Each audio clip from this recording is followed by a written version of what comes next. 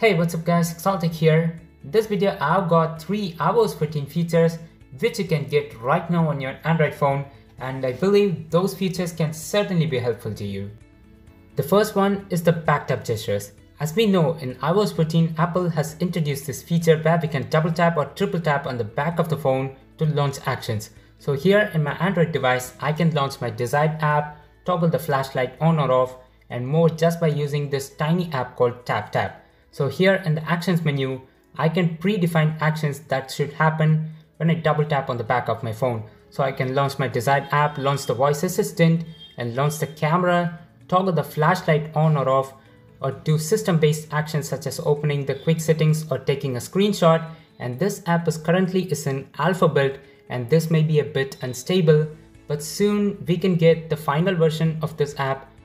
In the actions list in this app, the first action is given the most priority. If it fails to work, then it moves on to the second one, and even if the second one fails, it moves on to the third one and so on continuously. So here I can just double tap on the back of my phone to launch the Google Assistant, or else I can double tap to take screenshots and more other actions.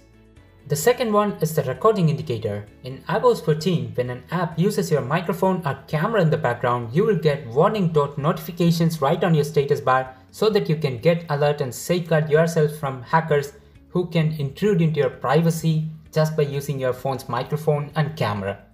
So right here in my device, you can notice this orange colored warning dot notification which says that some app uses my microphone in the background Actually, my voice recorder app is currently using my microphone in the background right now, and this can easily be identified in Android by using the Access Dots app, which is the port of the recording indicators from iOS 14 to Android. And here you can also customize the color of the warning dot notifications that appear on your device. Apart from customizing the colors of the warning dot notifications, you can also change the position in which they appear on your screen by selecting preset locations or if you need a custom position and custom size, you will have to contribute some money to the developer as they have been made a premium feature.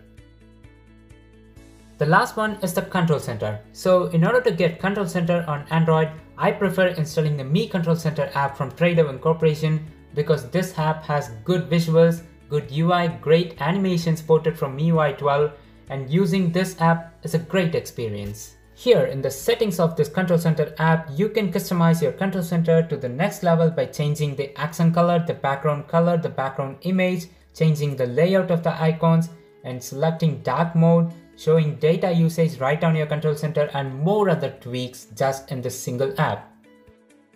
So this is all about the video. Thank you so much for watching. If you enjoyed this video, then give it a like and do consider subscribing to the channel. I'll catch you guys in the next one.